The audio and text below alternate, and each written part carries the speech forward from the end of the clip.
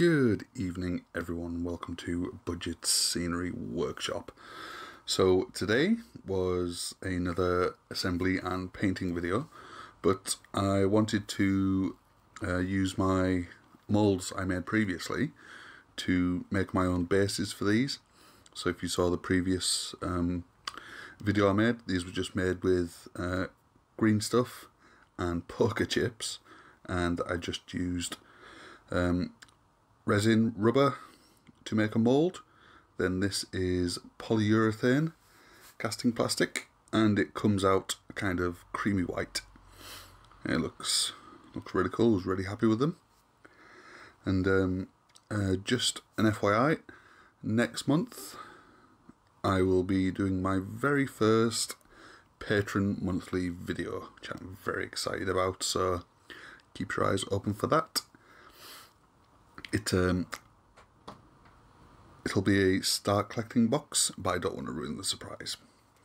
So yeah, all I did at the start was just what you normally do: clip them off the sprue, get rid of the mold lines, file them down.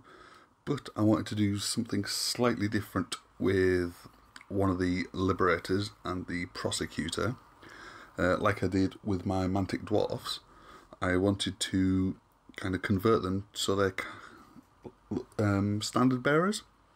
And as you can see, all I did was just drill through the uh, prosecutor's hand. And this is how I make my banners. I just use some um, lollipop sticks to rest the um, brass rod on.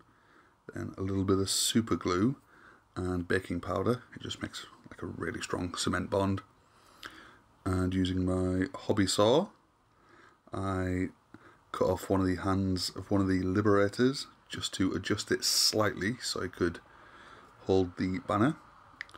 And this is the technique I use to uh, just quickly kind of overbrush and like kind of dry brush. Looks pretty cool.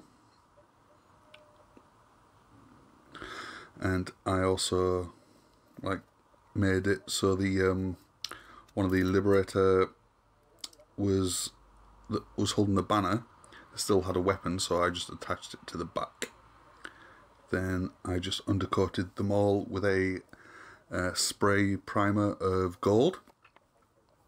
It's just the quickest and it's quite cheap actually.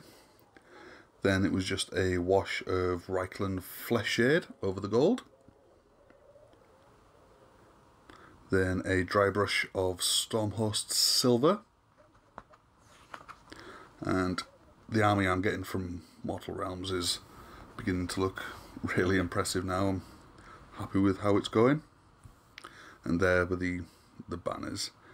Um, they're not they're not very good, but I'm not the best drawer or painter. Anyway, uh, the wings I painted Corax white.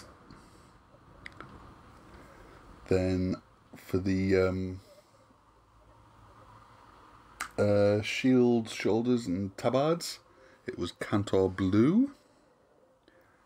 And you must remember, I always forget to get the back as well, so let's make sure I did that. and the gaps in between the armour were painted Abaddon Black.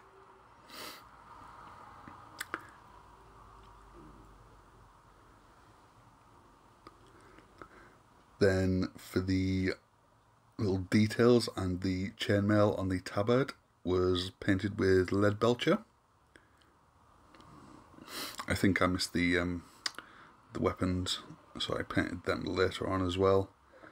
And for the um, hafts and grips of the weapons, it was painted with Khorne Red.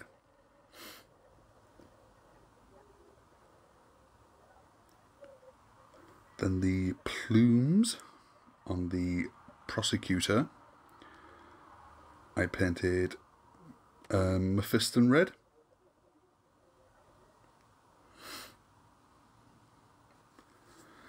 Then the, um, yeah, you see me there, I went over the weapons I missed and that. Then I gave them all a um, dry brush, not a dry brush, uh, a wash of uh, Nuln Oil. And here are the final results.